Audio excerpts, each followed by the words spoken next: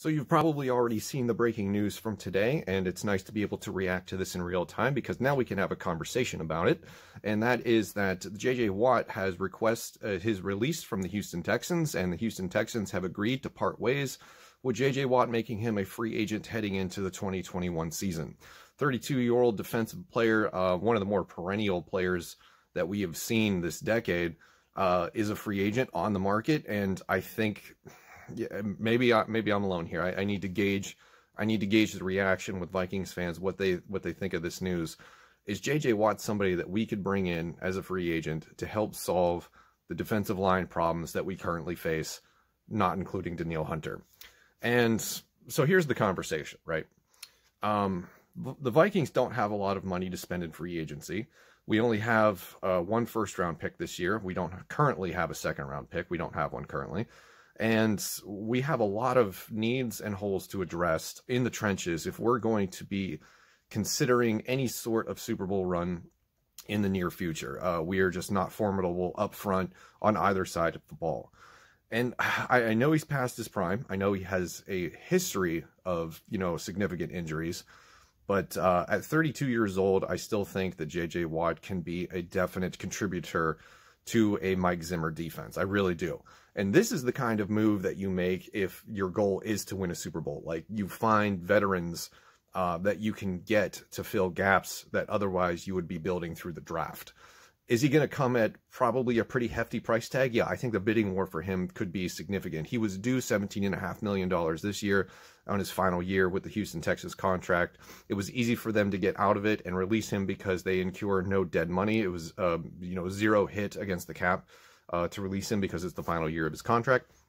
And, uh, you know, Minnesota makes sense from a perspective that he will have a huge opportunity – whether it's as the defensive end opposite of Danielle Hunter, or we could even move him inside and get Shamar Stephen, um, you know, out of the out of the starting role, which I think would be a huge upgrade. Um, so it just depends on where you think that he is viable on the defensive line in terms of what his skill set brings to the table, or you know, are we just are, are we even in the realm of possibility in terms of being able to afford uh, said player at, at, the contract that he would probably demand? Um, those are all questions that have to be answered. But I think if I'm a Vikings fan, I want to at least entertain the possibility of bringing J.J. Watt into Minnesota because uh, you know what this would do would it would free up uh, your first round draft pick. It would make that choice a lot easier. J.J. Watt solidifies the defensive line. Um, Michael Pierce comes back. We still have Danielle Hunter, assuming we keep him. You know, these are a lot of assumptions, but you know, this is the early stages of the offseason, so we can pretty much say and speculate however we want, right? So you have J.J. Watt, you have Michael Pierce, you have Danielle Hunter. That's a pretty decent, really, you know, I think in my opinion, much improved defensive line as opposed to what we had uh, starting last year, even with, you know, Yannick Ngakoue in the conversation. Now your first round pick is freed up to address the other side of the ball, and you could go after an Alijah Vera-Tucker uh, or Rashawn Slater. Um, I can't believe how far down, you know, draft boards Wyatt Davis has fallen after his season, but, you know, that gives you an opportunity. Maybe you trade back, acquire a second round pick, get Wyatt Davis later in the first round. Um, all kinds of options that op- suddenly open up to be explored for the offensive line in the first round of the 2021 draft, where there exists a lot of really good talent. This is a pretty deep offensive tackle draft, uh, draft class. You know, you could even get a Jalen Mayfield later in the first round. Um, you could even get, um, oh gosh, there was a one guy that I've been watching and I suddenly forget his name. and that just tells you how, how many players that you could consider. So, um, that's basically where I would be at. I would definitely entertain this idea and I would want, uh, Rick Spielman and the Minnesota Vikings to bring in JJ Watt if we can afford it.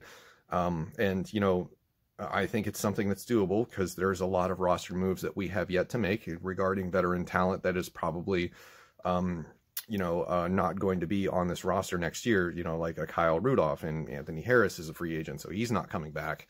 Um, and there's a bunch of guys that can be restructured, like Harrison Smith. I think Kirk Cousins absolutely has to be restructured because the cap hit that we are going to incur uh, after the March, I believe it's the March 7th, the third day of the new league year is just going to be insane. It's going to be top six quarterback money. So that's just not how you build a roster if you plan to win a Super Bowl or at least compete for one right now. So um, this is a move that I think we should make. Let me know in the comments below what you think of this development and is this an idea that you would entertain or are you set on just finding a defensive player uh, to rehabilitate the defensive line in the first round of the draft? Do you have your eye on Kwity Paye or Gregory Rousseau or Christian Barmore, somebody to that effect? So let me know what you think. That's going to do it for this video. Thank you for watching, and I'll see you in the next one.